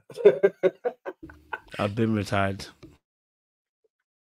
Excellent. Well, listen, folks, thank you for hanging in, hanging in there. You know, I know we left some reviews out in the middle, but you guys came in the end, and that's where it counts, right? It's not always how you start, but how you finished. And the season finished with a bang, and we're here to support you and finish with a bang. I think we got a couple more episodes. We'll see. You know, we'll see if if good old Kojo is willing to really dive in and see if there's anything interesting to still talk about. But I think we learned some good lessons here. You know, we learned, you know, lies don't don't bode well. They don't age well it's like a broken refrigerator. The food will spoil. So lies spoil. So be honest in your relationships. Be honest in your intentions. Be upfront. Um, and last but not least, please, please don't waste your energy trying to take somebody down because you know what they say when you dig somebody else's grave, you're digging your own. You're digging your own. So please don't dig graves for other people, you know, because you'll wind up right in that same grave. So, you know, be honest, be transparent, and be upfront. Back to you, coach. Thank you, Sean. I appreciate it. Uh, listen, chat. Thank you very much. Appreciate you guys. Uh, it's been a, a, a good conversation. Uh, can't wait for next week because you know what? Uh, you know the, that female empowerment went right out the window, didn't it? Because uh, looks like Lauren was talking to Michael and Chloe weren't happy about it. So all that female empowerment. No wonder why Chloe ain't wearing the pink. Okay, she wasn't honest too. That's something that she had to happen. That's the reason why she weren't wearing pink on our reunion. Um, so yeah, it's gonna be interesting to see what's gonna happen as well uh, next week because it feels like uh, uh, you know there's going to be more to be unhatched. Um, and that female empowerment looks like it's going to turn a little bit toxic when they choose sides on this as well. So we'll see what happens there uh, going forward as well. Uh, make sure you guys like, share, subscribe, click on the bell button for notification uploads. We appreciate you guys. I know this week is also the start of the new show on Own, Never Ever Met as well. So uh, we'll try and get something out for you this week. I think I'm going to be in London, so it might be that by Monday we have a, a live panel on that um, as well. So uh, make sure you guys like, share, subscribe, click on the bell button for notification uploads. I am out. Okay, as you can see, I'm tapped. I'm ready to go to bed. Okay, into the realms of the spirit. Appreciate y'all. Stay lots loaded. Bye bye.